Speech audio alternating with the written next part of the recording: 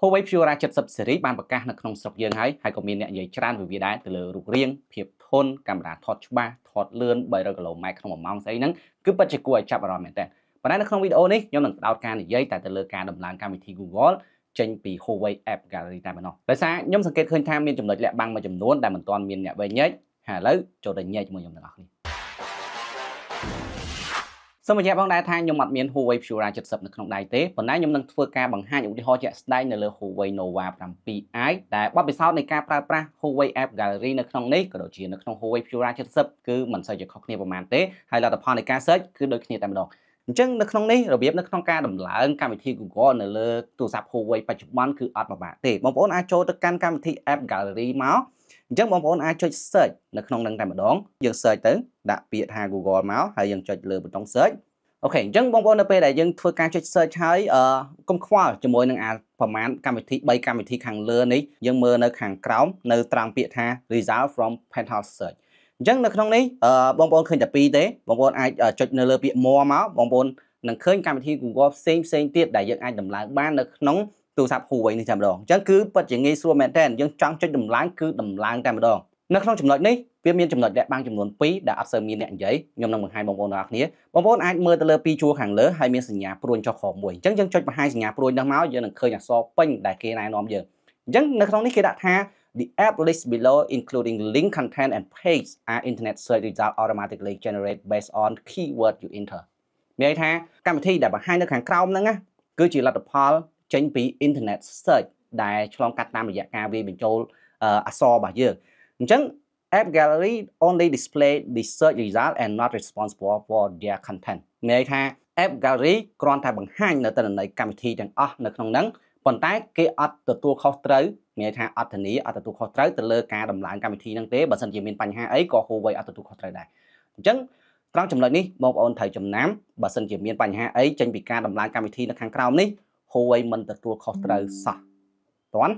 ចំណុចទី2ដែលគេអត់ដែរប្រាប់យើងគឺកម្មវិធីខាងក្រោមទាំងអស់នេះបងប្អូននឹងចំណាំឃើញពាក្យមួយគឺមានឈ្មោះថា Fibonacci មានន័យថាកម្មវិធីនេះគឺគេអត់បានបោះចូលទៅក្នុង Huawei App Gallery ទេ Search result នេះគឺចេញពី website របស់ Fibonacci មិនមែន website របស់ Google មិនមែន Google ផ្លូវការទេប៉ុន្តែ Fibonacci គឺជាអ្នក upload កម្មវិធីទាំងអស់ហ្នឹងចូលទៅក្នុង website ខ្លួនឯងហើយ search result ដែលបង្ហាញនៅក្នុង App Gallery គឺគ្រាន់តែឆ្លងកាត់ website របស់ Fibonacci តែប៉ុណ្ណោះ ចំណុចដែលងាយស្រួលគឺយើងអាចធ្វើការដំឡើងកម្មវិធីនៅក្នុងហ្នឹងបានហើយនៅពេលដែលយើងដំឡើងកម្មវិធី Google ទាំងអស់នេះទូរស័ព្ទនេះនឹងទាមទារឲ្យយើងដំឡើងនៅ Micro G Service ក៏ដូចជា Micro G Companion អញ្ចឹងចំណុចដែលយើងត្រូវកត់សម្គាល់ទី3គឺទូរស័ព្ទនេះអត់ប្រើប្រាស់ Google Play Service ទេមិនមែនជា Official Google Play Service ចេញពី Google ឡើយគឺវាប្រើប្រាស់នៅ Micro G Service ក៏ដូចជា Micro G Companion ដែលអភិវឌ្ឍដោយ developer ផ្សេងដើម្បីអនុញ្ញាតឲ្យយើងប្រើប្រាស់នៅកម្មវិធី Google បាន ត្រឡប់មកវិញសួរថាតើទូរស័ព្ទ Huawei បច្ចុប្បន្នអាចប្រើកម្មវិធី Google បានអត់ចម្លើយគឺបានឲ្យតែបងប្អូនចង់ប្រើគឺបងប្អូនអាចដំឡើងដោយឆ្លងកាត់ App Gallery ប៉ុន្តែ Huawei មិនធានាមិនទទួលខុសត្រូវទេបងប្អូនត្រូវទទួលខុសត្រូវដោយខ្លួនឯងឧទាហរណ៍ដូចអ្នកដែលខ្វល់ខ្វាយទៅលើទិន្នន័យផ្ទាល់ខ្លួនបងប្អូនគួរតែគិតទៅលើចំណុចហ្នឹងដោយសារទី1បងប្អូនអត់ដឹងថាតើ Fibonacci គួរឲ្យទុកចិត្តឬក៏អត់តើ MicroG គួរឲ្យទុកចិត្តឬក៏អត់ដោយសារ យើងអាចអាចមើលឃើញពី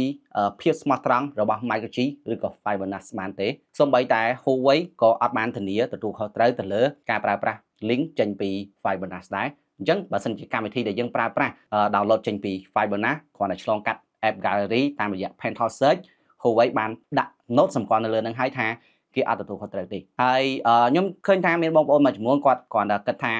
វិធីសាស្ត្រដែលយើងធ្វើបានគឺមានតែប៉ុណ្្នឹងទេនៅពេលដែលយើងចង់ប្រើប្រាស់ទូរស័ព្ទ Huawei ហើយយើងចង់ប្រើប្រាស់កម្មវិធីរបស់ Google អញ្ចឹងប្រើទៅប៉ុន្តែសម្រាប់យោបល់ខ្ញុំបើសិនជាបងប្អូនត្រូវការប្រើប្រាស់ទូរស័ព្ទ Huawei ហើយប្រើប្រាស់កម្មវិធី Google អីផ្សេងផ្សេងនៅលើហ្នឹងបងប្អូនគួរតែបង្កើតនៅគណនី Google ថ្មី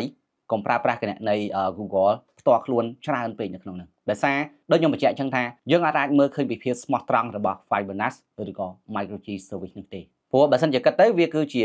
ចំណុចតភ្ជាប់មួយវាដូចជាស្ពានអញ្ចឹងដែលអាចឲ្យយើងឆ្លងចូលទៅប្រើប្រាស់សេវាកម្ម Google ប៉ុន្តែយើងអត់ដឹងថាតើស្ពានហ្នឹងតើវាអាចលួចចម្លងទិន្នន័យឬក៏មានករណីអីដែលអាចនឹងកើតឡើងបន្ទាប់ពីយើងឆ្លងស្ពានមួយហ្នឹងទេអញ្ចឹងហានិភ័យគឺបងប្អូនត្រូវទទួលខុសត្រូវដោយខ្លួនឯងមុនពេលដែលបងប្អូនសម្រេចចិត្ត ធ្វើការប្រើប្រាស់សេវាកម្ម Google នៅលើទូរស័ព្ទ Huawei អញ្ចឹងត្រូវប្រយ័ត្ននៅលើចំណុចហ្នឹងហើយអូខេអ្វីដែលខ្ញុំចង់បង្ហាញគឺមានតែប៉ុណ្្នឹងទេសង្ឃឹមថាវីដេអូមួយហ្នឹងនឹងផ្ដល់ជាប្រយោជន៍ក៏ដូចជាកន្លឹះសម្រាប់បងប្អូនទាំងអស់គ្នាធ្វើការពិចារណាមុននឹងសម្រេចចិត្តប្រើប្រាស់នៅសេវាកម្ម Google មិនផ្លូវការហើយកុំភ្លេចតាមដានមកខ្ញុំនៅវីដេអូក្រោយ